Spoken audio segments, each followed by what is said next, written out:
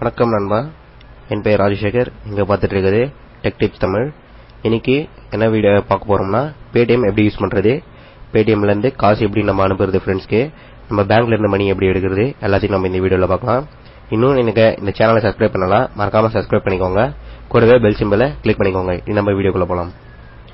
Guys first of all Paytm download பண்ணிக்கோங்க. நான் link வந்து டிஸ்கிரிப்ஷன் கொடுக்குறேன். அப்புறம் பேடிஎம் ஓபன் பண்ணிக்கோங்க. பேடிஎம் ஒரு நல்ல ஆப் தான் நான் சொல்லுவேன். Mobile recharges mobile prepaid postpaid எல்லாமே பண்ணிக்கலாம். உங்களோட எலக்ட்ரிசிட்டி பில் டிடிஹெச் நான் எல்லாமே இவர் தான் பண்ணிட்டு இருக்கேன் நான். இன்னும் மெட்ரோவுக்கு வந்து நம்ம சென்னை மெட்ரோ வரல பட் மும்பை மெட்ரோ வந்துடுச்சு. அப்புறமா பார்த்தீங்கன்னா இதுலேயே நிறைய ஷாப்பிங்ஸ் இருக்கு. Movies bus tickets flight tickets train tickets எல்லாத்தையும் நம்ம இதுல இருந்து பேடிஎம் ரீசார்ஜ் பண்ணிக்கலாம். பேடிஎம் பார்த்தீங்கன்னா நம்ம இந்தியன் ஆப் இப்போ நான் என்னோட எப்படி சைன் இன் பண்றது நான் சொல்றேன். ஃபர்ஸ்ட் ஆஃப் ஆல் நான் லாக் அவுட் பண்ணியிருக்கேன் பண்ணிடுறேன் நான் என்னோட அக்கௌண்ட்டை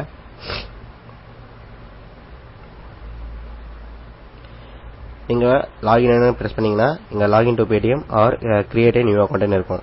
நீங்கள் கிரியேட் நியூ அக்கௌண்ட் கொடுங்க புது யூசரா இருந்தால் அதில் உங்களுக்கு என்ன கேட்கணும் உங்களோட மொபைல் நம்பர் கேட்கும். கிரியேட் பேடிஎம் பாஸ்வேர்டு பேடிஎம்க்கு என்ன பாஸ்வேர்டு வைக்கிறீங்கன்னு கேட்கும். அப்புறமா உங்களோட இமெயில் ஐடி அதுக்கப்புறம் கிரியேட் நியூ அக்கௌண்ட் கொடுத்தீங்கன்னா அக்கௌண்ட் கிரியேட் ஆயிடும். அதுக்கப்புறமா லாகின் கொடுத்துக்கோங்க. நான் லாகின் கொடுத்துட்டேன்.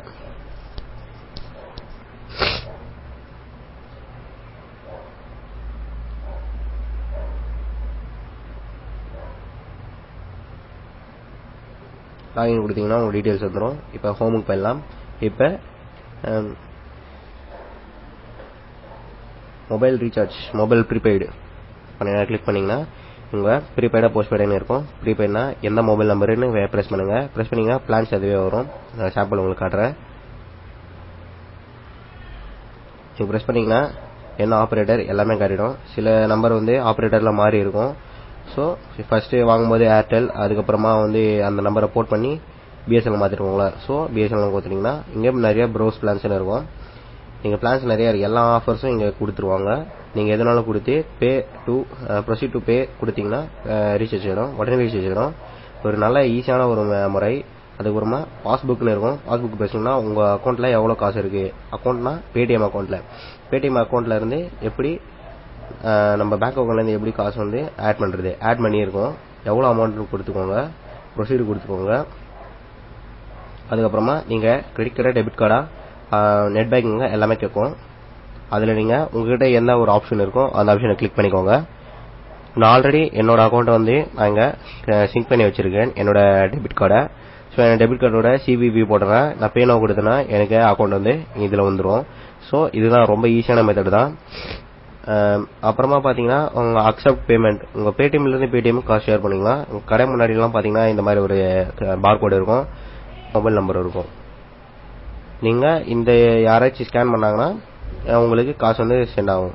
நீங்க வந்து பே நீங்க சென்ட் பண்றீங்க.